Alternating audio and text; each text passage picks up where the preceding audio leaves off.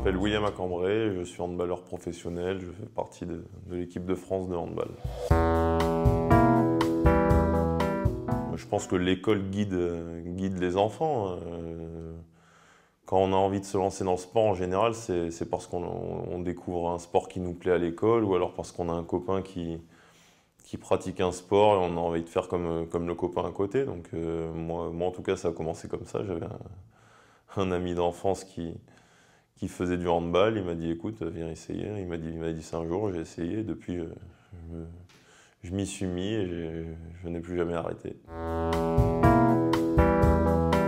Moi, je pense qu'il faut rester dans, une optique de, plaisir. Il ne faut pas contraindre euh, les élèves à, faire des choses qui, où ils, où ils vont pas prendre de plaisir, ou ça...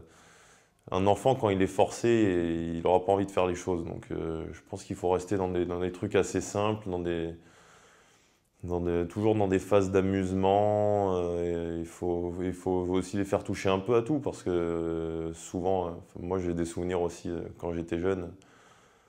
tout le monde réclamait de, faire du foot à chaque fois, justement. Il ne faut pas, faut pas rester toujours sur sur, les mêmes sports, sur, sur, sur, ces, sur les mêmes bases.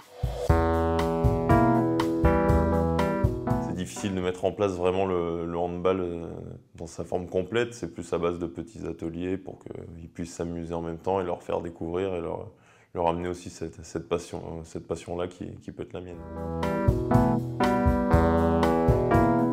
Moi, je me suis orienté vers un sport collectif parce que justement, c'était l'état d'esprit qui, me plaisait. Moi, moi j'aimais être avec mes copains, j'aimais passer du temps avec, mes copains, rigoler. Je me, retrouvais vraiment dans, cet état d'esprit-là. Donc, euh, pour moi, oui, c'est très important.